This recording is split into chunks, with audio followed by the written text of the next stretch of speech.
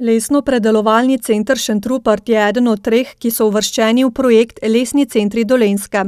Gre pa za to, da v bistvu skozi te lesne centre, ki so mikroregijsko umeščeni, se lahko vključujejo tudi vsi tisti, ki se ukvarjajo z lesom, ne da so locirani, bom rekel, neposredno v samem centru, ampak tudi v tej mikroregiji, se pravi mizarji, tesarji, oblikovalci, ki oblikujejo v lesu in tako dalje in tako dalje.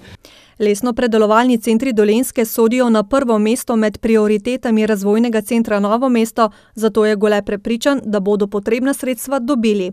Ne samo za to podjetje Ahaus, ki se je umestilo in je trenutno investitor, ampak tudi za vse tiste, ki si, ki bodo videli pač neko svojo podjetniško idejo ali pa dejavnost na področju predelave, raziskav in obdelave lesa.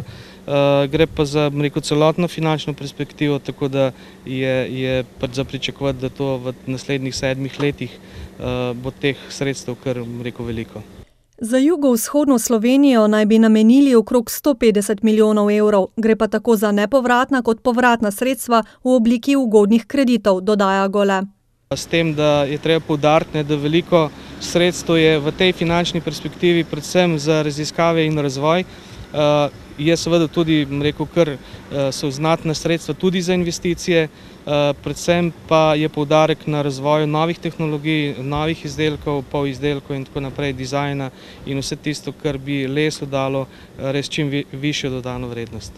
Do zdaj so na puščavi vzpostavili prvi del verige, torej del, ko iz odpadnega lesa delajo energent, iz tega pa energijo.